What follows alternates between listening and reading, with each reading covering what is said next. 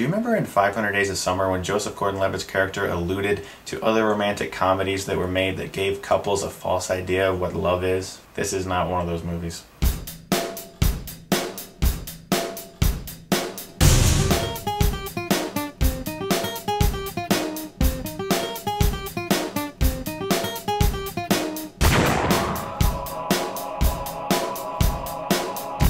What do you want me to read? You wrote?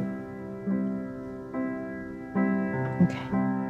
Like Crazy stars Anton Yelchin, Felicity Jones, and Jennifer Lawrence. It's about a young couple that meet and fall in love until her immigration visa expires and she's forced to move back to the United Kingdom and they're separated because of this strange law. Because of that, this couple goes through a lot of hardships, a lot of problems. This film is very similar to Blue Valentine, a film that I loved. It doesn't hold back, it doesn't fake it, it doesn't make it seem all glossy or Hollywoodized. It's very good in the way it depicts that. Only the idea of it. Of you and me.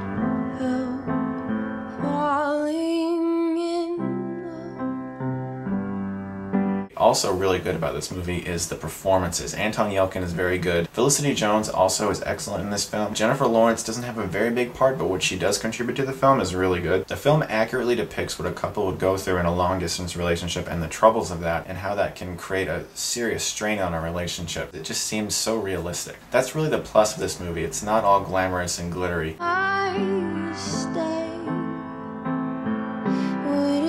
Hello? Um. Hey.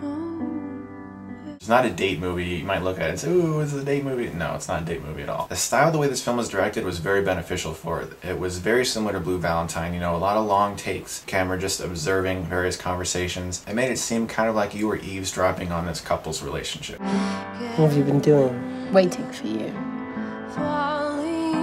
Because it doesn't feel like I'm actually part of your life. I feel like I'm on vacation. Would it be easier if you could see other people when we're not together? The only issue I had with this film was that it jumps time gaps very often and doesn't tell you how much time has gone by. And that's not necessarily the problem. The problem is there is a little bit of information that seems really crucial to know about what has happened in between these time periods that you don't really find out. I would have liked it to have been a little more clear so I could understand where the characters' heads were. And if I was given just a little bit more information in regards to some of these time gap jumps that happen later in the film, it would have been a little easier for me to understand the motivations of the characters.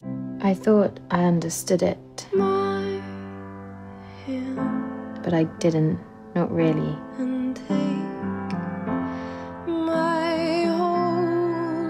This is a really excellent film, a really emotionally invested film, one that I felt like I was definitely part of and I, I could understand where this couple was and I wanted to know what was going to happen and I felt for them. And so I'm going to give Like Crazy an A minus. Only the smudgeness of it, the eagerness of it, the idea of it, of you and me.